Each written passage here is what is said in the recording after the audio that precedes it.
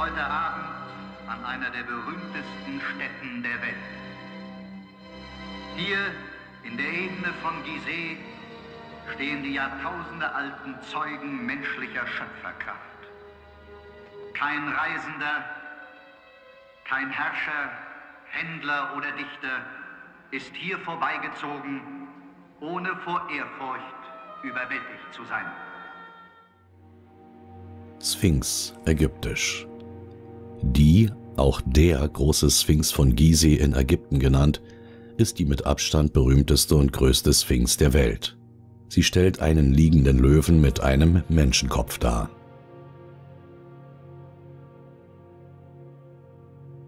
Die altägyptische Sphinx gehört zum religiösen Sonnenkult und stellt laut Harmachis eine lokale Form des Gottes Horus dar, Horus also Ra und so weiter, auch in Verbindung gebracht mit Kepera, Ra oder Atum. Die Darstellungen von Harmachis sind vielfältig. Zu einem wurde er als falkenköpfiger Mann mit verschiedenen Kronen abgebildet, andere Darstellungen zeigen ihn gelegentlich als falkenköpfigen oder widderköpfigen Löwen, was die vorherigen Informationen in Kapitel 5 bestätigen. Ra als Löwe, Widder und so weiter. Ein ägyptischer Sphinx, Plural, Sphinxe oder Sphingen, ist die Statue eines Löwen, zumeist mit einem Menschenkopf. Daneben sind auch Widder, Falken und Sperberköpfe in Form einer Sphinx gebräuchlich. Bei anderen Völkern des Altertums wurden ähnliche Mischwesen dargestellt, so bei den Phöniziern, Hethitern, Assyrern und insbesondere bei den Griechen. Der übernommene Kult der Sphinx-Monumente findet sich heutzutage, wie viele weitere ägyptische Götter, in vielen Religionen wie zum Beispiel im Buddhismus oder im Hinduismus in abgewandelten Formen. Das Wort Sphinx leitet sich möglicherweise vom griechischen Verb swingein mit der Bedeutung erwürgen, durch Zauber festbinden ab oder vom ägyptischen spanch, das was das Leben empfängt. Hu, also Sphinx basiert auf der Legende der griechischen Sphinx, die vorbeikommende Reisende stets erwürgte, wenn diese das von ihr gestellte Rätsel nicht lösen konnten. Den Löwen, also die Sphinx, sehen wir heute an vielen religiösen Parlamenten, Kirchen und sogar vor Banken und Gerichtsgebäuden. Von Religion zu Religion variiert die Form der Löwen, wie zum Beispiel in Asien die berühmten chinesischen Löwen in abgewandelter Form vor Regierungsgebäuden, also religiöse Tempel, und dennoch symbolisieren sie in allen Religionen ein und dasselbe. Sphinx-Darstellungen werden im Allgemeinen mit architektonischen Strukturen wie Königsgräbern oder religiösen Tempeln in Verbindung gebracht.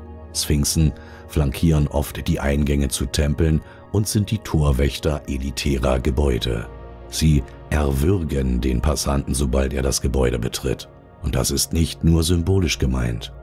Die Löwensymbolik schüchtert nur durch seine Präsenz ein. Die Symbolik eines Löwen verkörpert Stärke und Macht. So ist sichergestellt, dass, wenn du ein Gebäude mit ägyptischen Sphinxen bzw. Löwen betrittst, du dich deinem Gegenüber sofort unterwirfst, welches die übergroße Sphinx in Ägypten mehr als verdeutlicht, also welchen Zweck diese Monumente erfüllen sollen. Diese Monumente sind ägyptische Herrschaftssymbole der Autorität. Zitat Bei den Ägyptern wurden Sphinxen am Eingang der Tempel aufgestellt, um ihre Geheimnisse zu bewachen, indem sie diejenigen, die in das Innere eindrangen, warnten, ihr Wissen vor Uneingeweihten zu verbergen. Zitat Ende. Hier eine kleine Ergänzung zur Sphinx an der Santander Bank.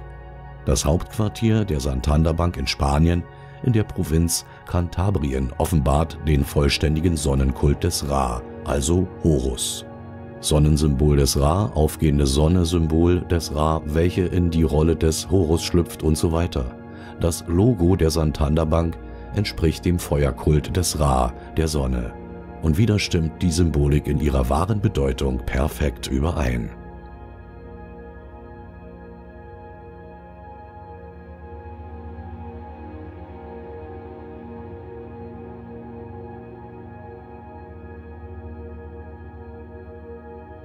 Hier noch ein Beispiel einer Sphinx im Logo der Ink Diba Bank in moderner Form, ohne weiter zu kommentieren.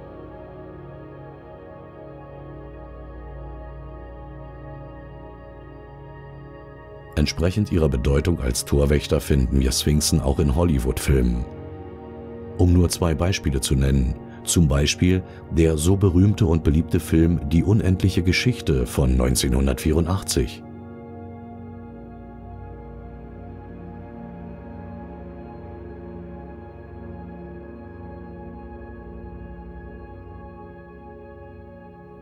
Eines der bekanntesten Beispiele ist selbstverständlich das berühmte Hollywood Pictures Intro. Hollywood Pictures war ein gegründetes Filmstudio der Walt Disney Motion Pictures Group und hat die Sphinx Gehirnwäsche von 1990 bis 2007 betrieben. Löwen, also Sphinx, Kepera, Horus oder Ra, finden sich auf unzähligen ägyptischen Hieroglyphen. Bei den Griechen wurde die Sphinx als ein geflügelter Löwe mit dem Kopf einer Frau, eines Falken oder teilweise auch als Frau mit den Tatzen und der Brust einer Löwin, einem Schlangenschwanz und Vogelflügel dargestellt. Abwandlungen gibt es viele. Die Sphinx wurde in die heutige Architektur und Symbolik der Freimaurer übernommen. Sphinxlöwen finden sich selbstverständlich auch in London, am Londoner Themseufer, wo sie die echte Kleopatra-Nidel einen der wenigen echten ägyptischen Obelisken bewachen. Heilige Sphinxen, also Löwen, finden sich heute noch immer in Städten, Parlamenten, Gerichtsgebäuden oder Freimaurerlogen. Sie sind ein wichtiger Bestandteil, um deinen Irrglauben an ihre Götter zu stärken. Ihre magische Wirkung entspricht dem ähnlich eines Zepters, Macht und Autorität. Sie schmücken diese scheinbar göttlichen Monumente nicht nur aus optischen Gründen, auch autoritäre Gebäude, Brücken und Paläste. Mit ihrer ehrfürchtigen Erscheinung stärken Sphinxen auch deinen Irrglauben hinsichtlich Religion. Durch die ständige Präsenz der Löwen, wie zum Beispiel auch das berühmte MGM Hollywood-Intro, hast du Ehrfurcht vor einer Autorität, ebenso vor ihren Gebäuden und ihren heiligen religiösen Tempeln. Wie du unschwer erkennen kannst, Gleicher Ursprung, gleiche Bedeutung, gleicher Zweck, gleiche Wirkung, gleiche Religion. Und zwar weltweit.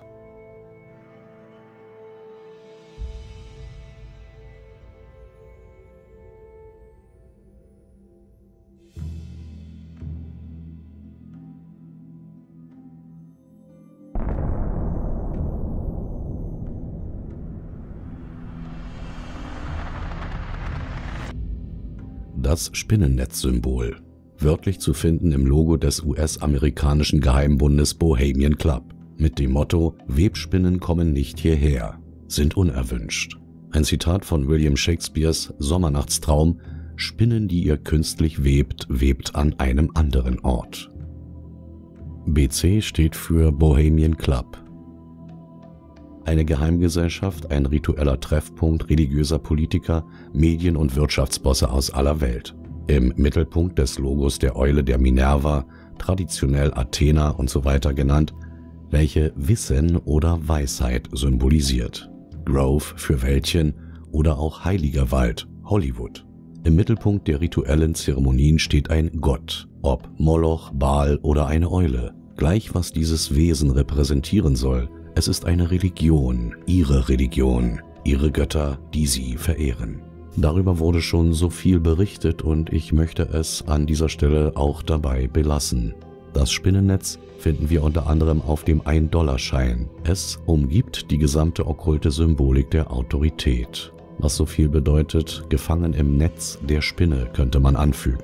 Ebenfalls befindet sich eine kleine Eule auf dem Dollarschein.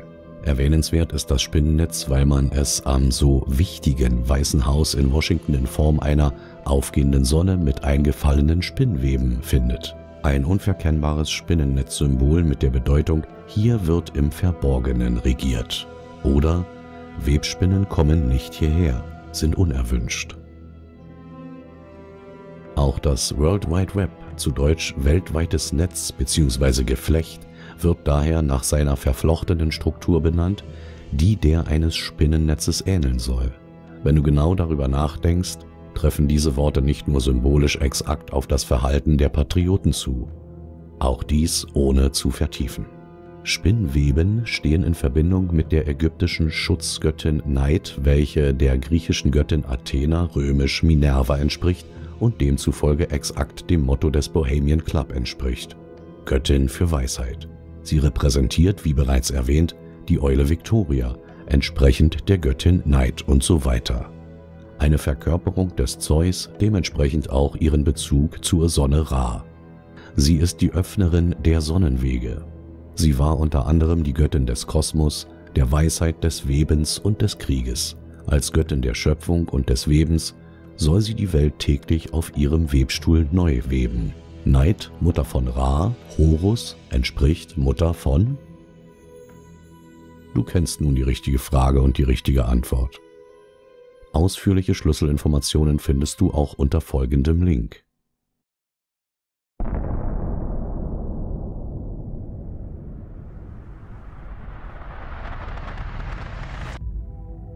Ein Tempel ist, wie du nun erfahren konntest, eine Kirche, von lateinisch templum.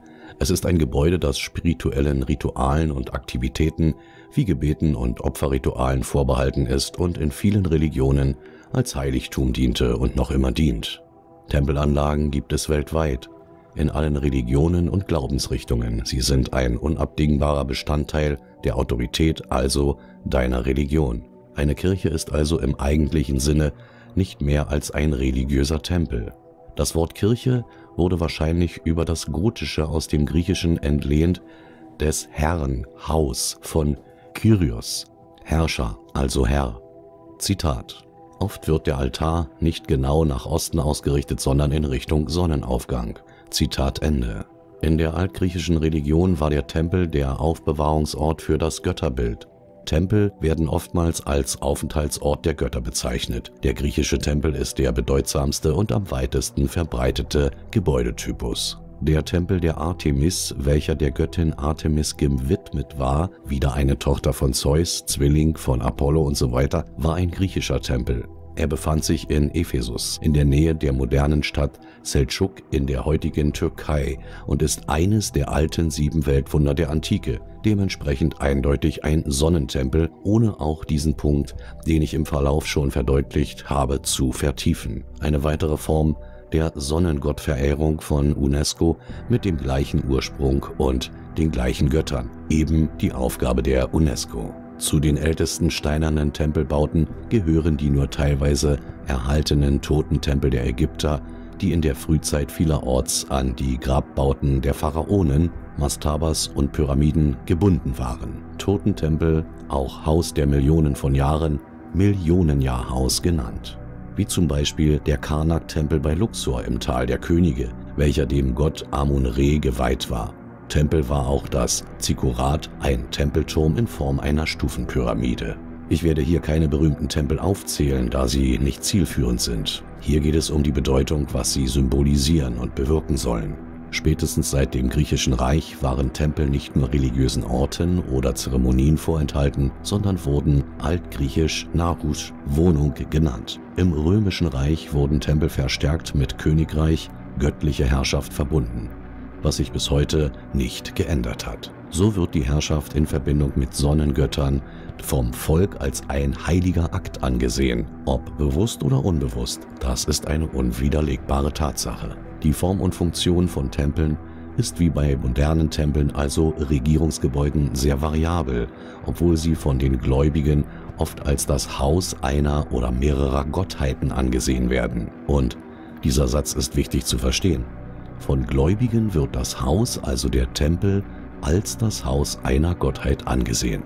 Dieser Punkt stellt eine weltweite Schlüsselrolle des aktuellen Systems dar. Heute mehr denn je finden wir Regierungsgebäude, welche stets renovierungsbedürftig sind, wie man uns sagt, und dabei lediglich religiös neu gestaltet modernisiert und mit weiteren religiösen Göttern bestückt werden, ihre Tempelanlagen heute Parlamente, Kapitole und so weiter genannt. Im 21. Jahrhundert geschieht dies in einem Ausmaß, welches das ägyptische oder römische Reich vor Neid erblassen lassen würde. Heutige Regierungstempel der Neuzeit, also Kirchen, ähneln sich überwiegend, jedoch können sie auch auf den ersten Blick, also optisch, sehr unterschiedlich wirken. Jedoch ist ihre Wirkung bezüglich des Glaubens, exakt wie auch die antiken frühen Tempel, stets in ihrer eigentlichen Bedeutung gleich geblieben. Auch befinden sich die so beliebten heiligen Touristenkirchen zunehmend unmittelbar oder direkt damit verbunden auf oder neben Regierungsarealen sowie an Kapitolen, Präsidentenpalästen und Autoritätsdienergebäuden. Viele der sogenannten Präsidentenpaläste besitzen sogar eigene heilige Stätten, ihre eigenen Kirchen. Ein architektonischer Baustil, welcher den eigentlichen Sinn und Zweck mit angeblicher Göttlichkeit offenbart. Und dies bedeutet Herrschaft im Namen der Religion.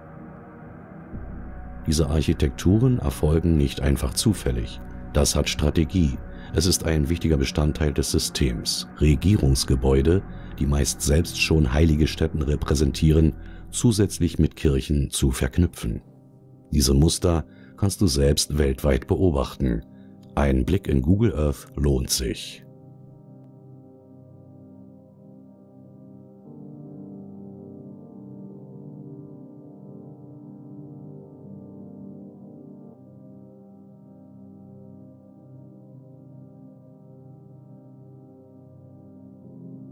Tempelsäulen sind vielfältig und haben ihren eigentlichen Ursprung mindestens im alten Ägypten. Alle Variationen und Formen haben einen religiösen Hintergrund und symbolisieren oft Schutzgötter oder selbst die Form von Göttern. Später wurden Tempelsäulen in vielerlei abgewandelten Formen übernommen oder je nach Gebrauch bestimmter Kulte und Religionen umfunktioniert, also je nach Zeitalter entsprechend umgestaltet. Die so berühmten Jachin- und Boas-Säulen, welche sich laut Erzählung am Tor des Eingangs des Tempels in Jerusalem befanden, symbolisieren lediglich Religion. In der Freimaurerei werden sie mit der Sonne, dem Mond oder der Weltkugel als Weltdomination dargestellt. Abwandlungen in späterer griechischer oder römischer Form sind zahlreich. Zweifarbig, welche die Dualität Mond und Sonne darstellen, entsprechend dem Sonnensymbol Yin und Yang. Säulen werden heute auch als Flamme dargestellt, daher auch die Namensherkunft Siegessäule, also von Säule, Tempelsäule. Der Ursprung der zwei unterschiedlichen Säulenformen der Jachin- und Boas-Säulen liegt selbstverständlich im alten Ägypten, und zwar im Esna-Tempel und eben nicht im so berühmten Jerusalemer Tempel mit seinem so berühmten siebenarmigen Leuchter.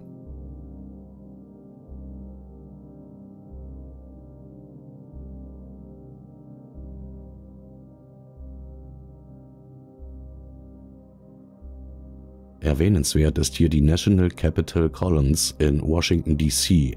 Leider liefert Wiki nur unzureichend Informationen, was es in Wirklichkeit mit diesen Säulen auf sich hat und warum sie tatsächlich aufgestellt wurden. Sie stehen mit dem Sonnenkapitol in Washington, D.C. in Verbindung und symbolisieren in ihrem alleinigen Erscheinungsbild somit auch den Museumstitel, welcher diesen heiligen Ort trägt, die Wichtigkeit von Tempelsäulen des Systems und ihrer Religion ihren Göttern, welchen sie diese heiligen Stätten widmen. Zitat der Pharao, also der König, ließ Tempel für die Götter bauen, sozusagen als Wohnung für die Götter. Zitat Ende. Und genau das symbolisiert dieser Ort, ein Tempel für ihre Götter. Säulen befinden sich heute an und in fast allen Regierungsgebäuden, Parlamenten, Gerichtsgebäuden, welche ihre falschen Entscheidungen auch gleich göttlich absegnen und nur zu gern auch an und in betrügerischen Saturnbanken der Händler und Diebe, welche, wie bereits erwähnt, den Saturntempel repräsentieren und Mercury, also Wotan, Odin und so weiter im Ursprung Seth oder Tod symbolisieren. Diese alte beliebte Architektur ist demzufolge zweckgebunden, weshalb alte Gebäude im Neorenaissance- oder Neobarock-Stil oder welche weiteren Schwachsinnsbezeichnungen auch immer weiter verwendet werden und stets mit noch mehr Herrlichkeit, mit noch mehr Glory und Heiligtum modernisiert werden. All diese Bezeichnungen der Gebäudestile dienen rein der Desinformation. Es sind alles griechisch-römische bzw. im Ursprung ägyptische Baustile und zwar mit genau jener Bedeutung, welche sie schon vor Hunderten oder Tausenden Jahren hatten. Daran hat sich bis zum heutigen Tage überhaupt nichts geändert. Tempel und ihre eindrucksvollen Säulen symbolisieren in deinem Unterbewusstsein Stärke, Macht, Autorität und verbundene Göttlichkeit. Säulen haben ebenso eine magische Wirkung, indem sie deinen Verstand im wahrsten Sinne klein halten, deine Wahrnehmung der Realität, heilige Tempelsäulen, hinter denen sich Priester, Präsidenten und Monarchen verstecken und Schutz suchen, mit der Betonung Schutz vor uns suchen, auch wenn dir die Tiefgründigkeit dieser Worte vielleicht gar nicht bewusst ist. Sie haben Angst vor uns. Angst vor uns. Leider fand ich keinen eindeutigen Hinweis darauf, wie es sich mit doppelten oder gar dreifach aneinandergereihten Säulen verhält. Denn bei ganz bestimmten Gebäuden oder jene, die einen bestimmten Zweck erfüllen sollen, einen höheren Rang als die üblichen Tempelsäulen oder welche höhere Bedeutung symbolisieren sollen, so findet man wie in den Beispielen Doppelt- und Dreifachsäulen. Dies ist an diesem Punkt nicht entscheidend, aber dennoch erwähnenswert. Sowohl als auch sind es Symbole der Autorität deines Irrglaubens. Zwischenfrage an dich. Zur Verdeutlichung hier ein Beispiel. Was erkennst du auf diesem Bild? Wie würdest du als Unwissender oder gern auch als Wissender dieses Gebäude auf den ersten Blick interpretieren? Es handelt sich um das Parliament Hill Ottawa, House of Commons of Canada, das kanadische Parlamentsgebäude. Mit dem Querverweis und Gedankenstütze auf Parliament Hill mit Ursprung Capitoline Hill Mons Saturnius der mit dem Gott Saturn geweiht war, also ein moderner Saturntempel entsprechend der sieben Hügel und so weiter.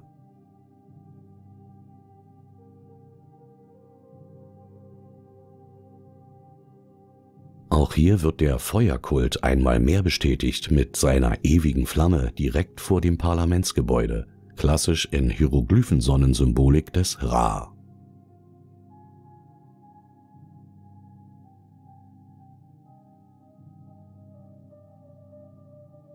Hier noch ein weiteres Beispiel. Wie würdest du oder der normale, unwissende Mensch diesen heiligen Tempel auf den ersten Blick interpretieren? In diesen heiligen Hallen, also Tempel, Gottes Haus oder Kirche, befindet sich der Internationale Gerichtshof der Vereinten Nationen UN. Es ist der so beliebte und verehrte Friedenspalast im niederländischen Den Haag. Wie der sogenannte Friedenspalast, die heiligen Hallen, werden viele weitere Gebäude der Autorität von der Bevölkerung selbst als beliebtes Touristenziel nach wie vor verehrt.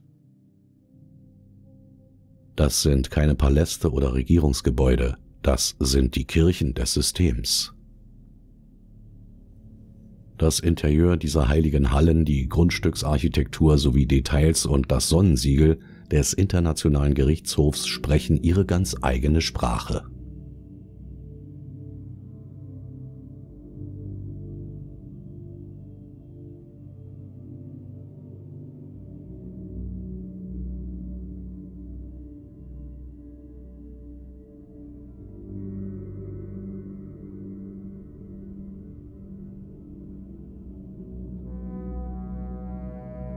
Aus der Vogelperspektive werden die Sonnensymbole rund um den Sonnentempel offensichtlich.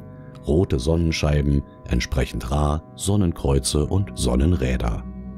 Bei genauer Analyse erkennt man auch das diktatorische Fascis-Symbol in besucherfreundlicher Gestaltung, welches einmal mehr verdeutlicht, welches System hinter diesen Organisationen steckt. Darum wird sich auch niemals etwas ändern, wenn das nicht verstanden wird. Wer den Internationalen Gerichtshof kontrolliert, kontrolliert die großen Entscheidungen dieser Welt und lässt Verbrecher weiter agieren. Entsprechend der Symbolik im und rund um diese Kirche geht auch das heilige Siegel des Internationalen Gerichtshofs mit dem Sonnengott Ra als aufgehende Sonne einher. Siehe auch Harmachis, Justitia, also Maat im Schutze zweier Sphinxen, symbolisiert die Richterin der Welt an späterer Stelle gehe ich nochmals auf dieses Siegel ein.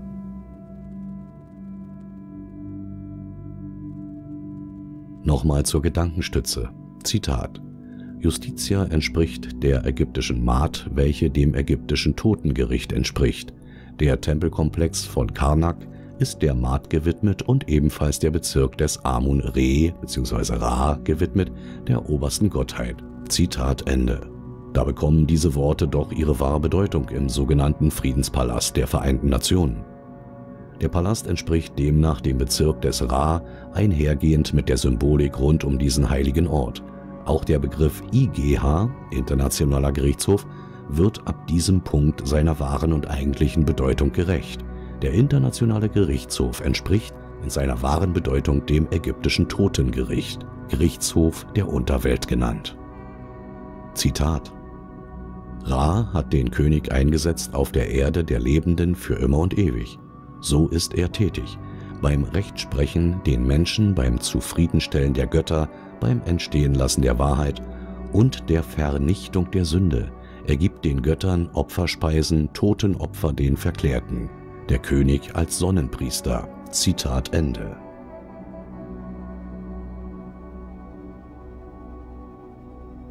Das Eingangstor des IGH mit seiner ewigen Flamme, entsprechend dem Feuerkult des Ra, ist natürlich kein Zufall, denn direkt vor dem Friedenspalast befindet sich, wie sollte es auch anders sein, die World Peace Flame, die Weltfriedensflamme. Somit ist der Feuerkult des Ra, Feuerverehrung, also Sonnenverehrung, ein weiteres Mal bestätigt. Auch wenn du nun denkst, ich wäre hier vom Thema Tempel und Säulen abgekommen, nein, genau das Gegenteil. Der internationale UN-Sonnengerichtshof, also Totengericht, ist ein wichtiger Tempel, die Säulen des Systems, er festigt durch Weltgerichtsbarkeit ihr Vorhaben, und zwar nur ihr eigenes.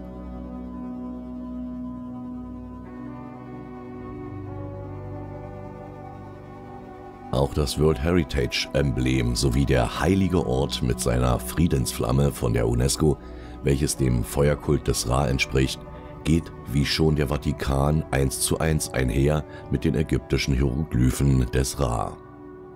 Eindrücke des Interieurs des Friedenspalastes Sol, Son, innerhalb ägyptischer Sonnenhieroglyphen des Ra.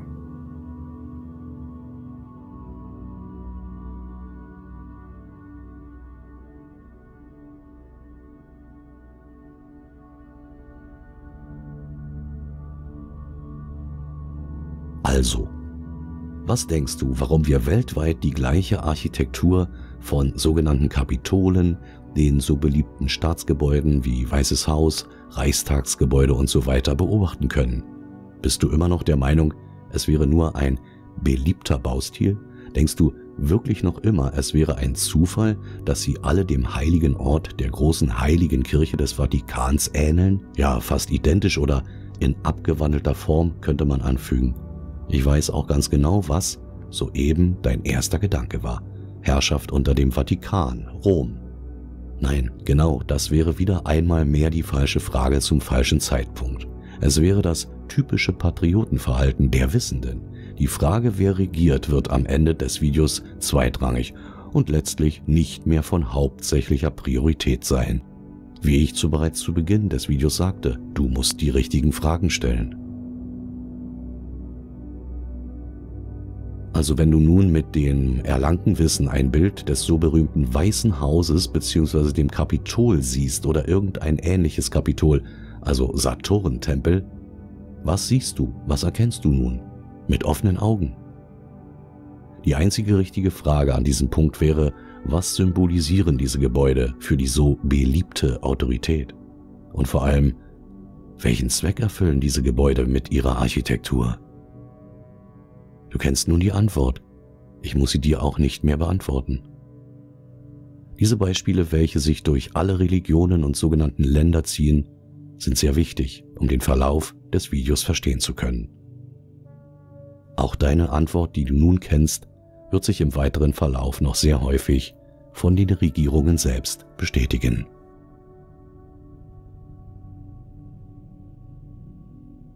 Beispiel der heutigen Anwendung ägyptischer Sonnensymbolik des Ra im US-Kapitol der Vereinigten Sonnenstaaten. Vollendet wurden die Sonnenstrahlen mit passendem Flammendekor, ganz im Sinne des Ra-Feuerkults.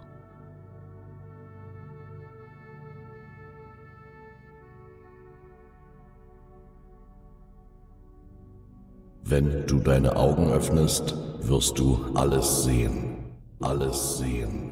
Alles sehen. Alles sehen. Alles sehen. Alles sehen.